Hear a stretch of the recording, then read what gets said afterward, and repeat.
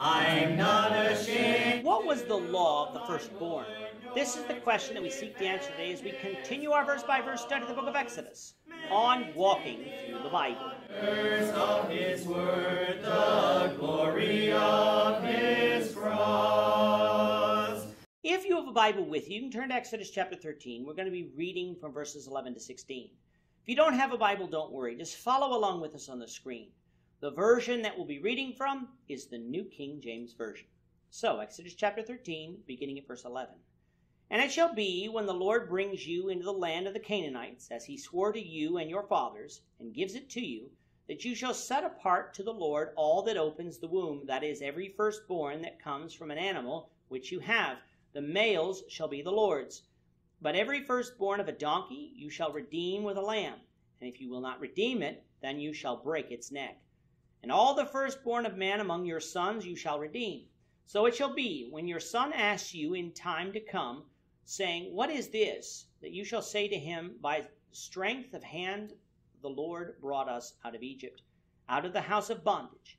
And it came to pass, when Pharaoh was as stubborn about letting us go, the Lord killed the firstborn in the land of Egypt, both the firstborn of man and the firstborn of beast. Therefore I sacrifice to the Lord all males that open the womb, but all firstborn of my sons I redeem. It shall be as a sign on your hand and as frontlets between your eyes, for by strength of hand the Lord brought us out of Egypt.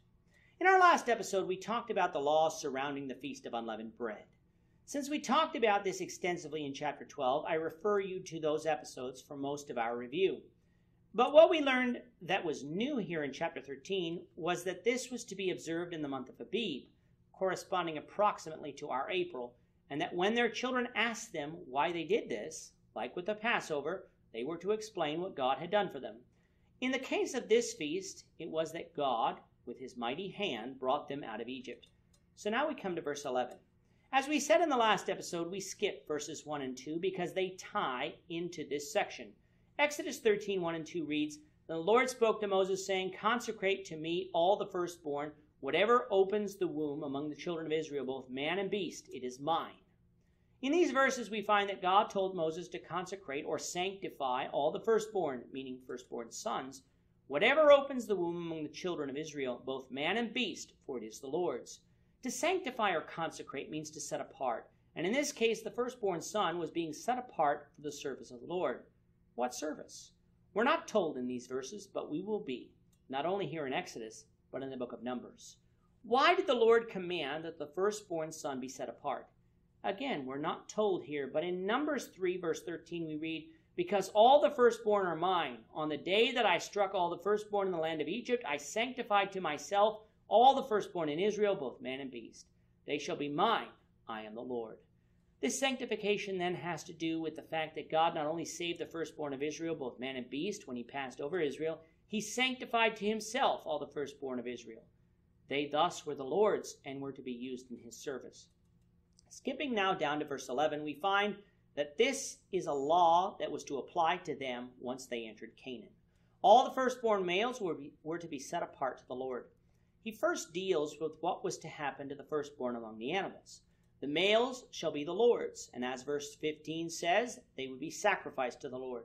The male donkey, which is an unclean animal, but domesticated among the Hebrews at that time, was not to be sacrificed to the Lord. Instead, it was to be redeemed or bought back with a lamb, who would then be sacrificed. If the animal was not redeemed, the firstborn donkey was to be killed by breaking its neck. This was the law of the firstborn among the animals that was to be followed. We then come to how God wanted the firstborn among the sons of Israel to be treated. All firstborns among animals of Israel were to be sacrificed, but all the male children of Israel were to be redeemed and not sacrificed. God hates human sacrifice and banned the children of Israel from practicing such in places like Leviticus 18, verse 21. However, the firstborn sons were still to be consecrated to the service of the Lord, but instead of sacrifice, they were to be redeemed. We'll understand this practice a little better once we study the book of Numbers. When the firstborn among the children of Israel asked why this is being done, it was to be told to them, By strength of hand the Lord brought us out of Egypt, out of the house of bondage. And it came to pass, when Pharaoh was stubborn about letting us go, that the Lord killed all the firstborn in the land of Egypt, both the firstborn of man and firstborn of beast. Therefore I sacrifice to the Lord all males that open the womb, but all the firstborn of my sons I redeem. This again was a remembrance of what God had done for Israel in passing over their houses before bringing them out of Egypt. It was to act as a sign on their hand and a frontlet between their eyes, those phrases being used to mean that by doing and obeying these laws, the children of Israel would be remembering what God did for them. The examples of the children being told why they practice certain things should again be a reminder to Christians that they should be teaching their children the same so that they can grow up to serve Christ. With that, our time is up for today. The Lord willing, we hope you'll join us for tomorrow's discussion of Exodus chapter 13 as we continue our walk through the Bible, one verse at a time. I'm not a Thank you for watching today's episode.